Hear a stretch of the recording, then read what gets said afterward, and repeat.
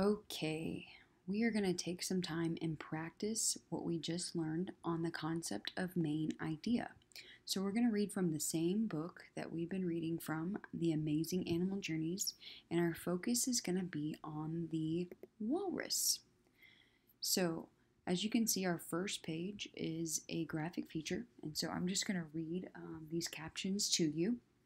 So, right here, um, on the upper left hand side, we see that the lifespan is up to 40 years. Their size is up to 12 feet long, and their weight is up to 3,400 pounds. Their skin appears brown or gray in the water, but pink or dark brown when not in the water. Their air pouch can be inflated to keep their head above water while sleeping. Their whiskers on its snout, they're used to detect food on the bottom of the ocean. Their tusk weigh over 10 pounds and are up to 3 feet long.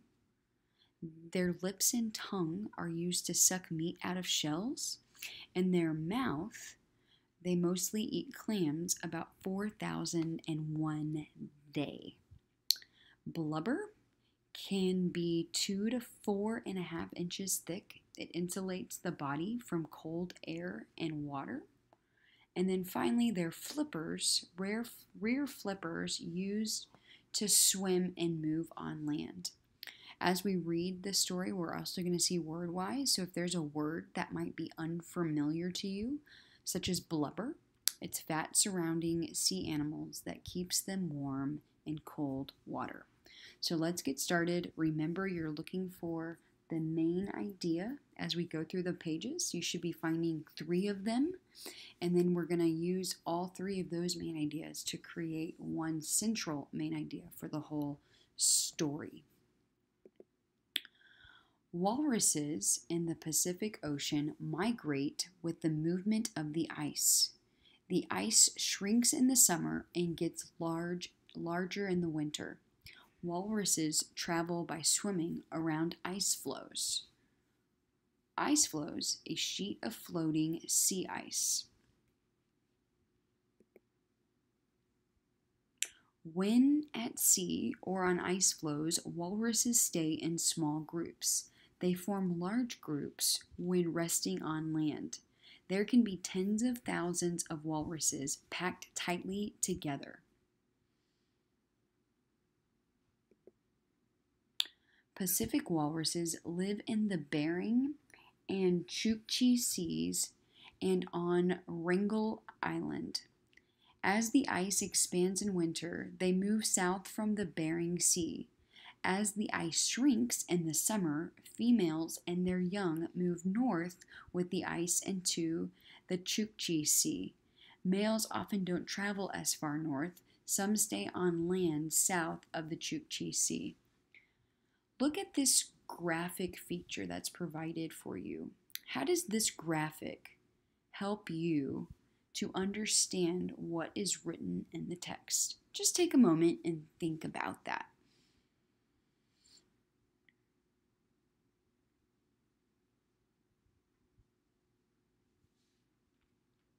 You'll also notice that there's a weird but true walrus's ears are small bowls that are hard to see with all their wrinkles.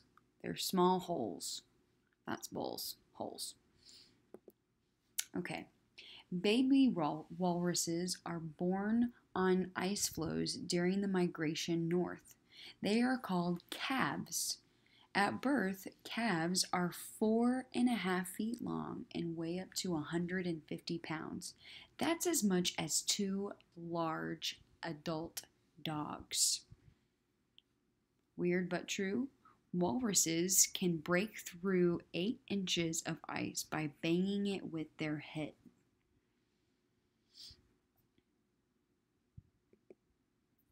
Walruses are not picky.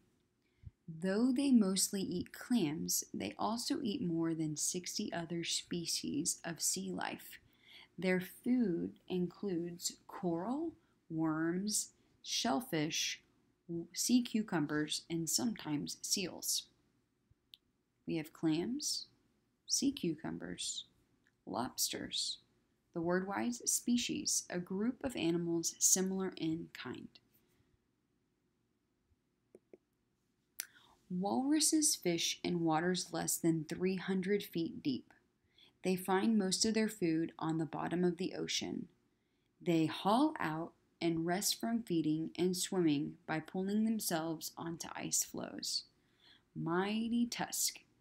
A walrus uses its tusk to move on land, make ice holes, and haul out of the water. Tusks are also used as protection against predators such as polar bears. So that's the end of our read aloud. So take this time and look at the, the three um, small main ideas that are hidden in this whole story of walruses and how can you make that into one main idea for the entire passage.